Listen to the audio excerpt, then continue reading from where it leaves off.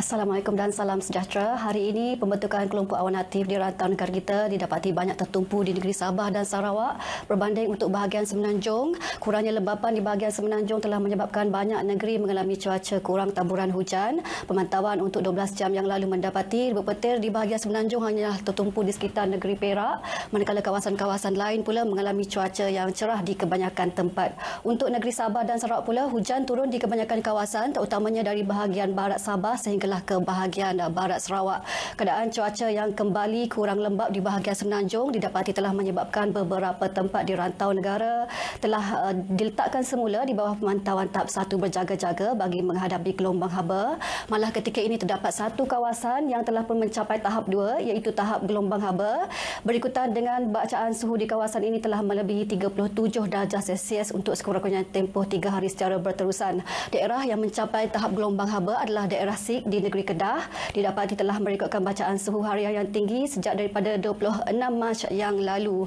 Oleh demikian, kami nasihatkan kepada orang ramai yang berada di kawasan sekitar agar terus uh, meminumkan banyak air bagi memastikan tahap kesihatan anda berada pada tahap maksimum. Untuk tinjauan keadaan cuaca semasa pula, hujan yang berlaku pada petang tadi didapati semakin reda kecuali untuk daerah Kinta dan juga Kampar di negeri Perak. Selain daripada itu juga, hujan pada malam ini turut-turun di beberapa tempat di sekitar sekitar daerah Segamat dan juga Keluang.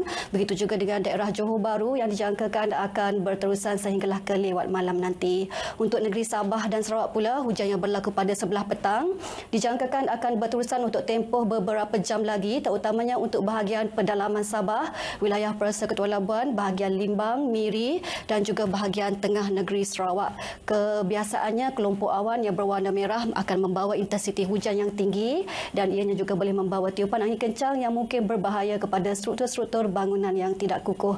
Oleh yang demikian, orang ramai yang tinggal di kawasan ini diminta berhati-hati dengan situasi yang sedang berlaku. Sekarang info cuaca, seterusnya ramalan cuaca bandar-bandar utama pagi esok.